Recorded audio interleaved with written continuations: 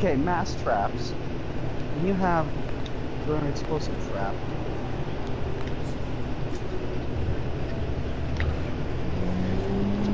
So, do we That's- need body parts for anything else? Just eat them.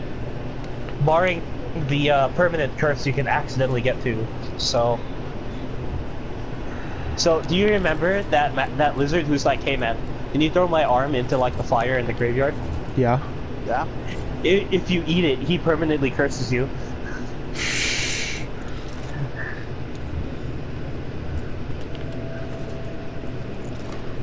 Oh shit, that's right. I ate I ate Mama Dearest's head. Okay.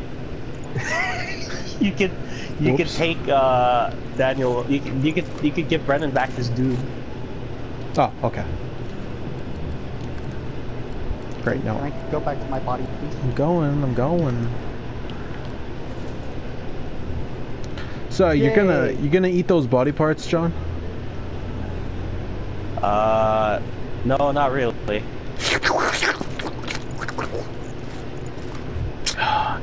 You need to be an elf in order to get abilities off of them. Whoops! Oh well. Brennan has got you. He, Yeah, he really you did, did. this time. You did. I put the helmet on and didn't transform, so I'm just an idiot with an ugly, with an ugly helmet. oh well, I'm gonna stick true to my word. I'm gonna continue eating these body parts. As Good job, Daniel. What else? Good, good, good job, Daniel. That's all I can tell you. I did it. fuck.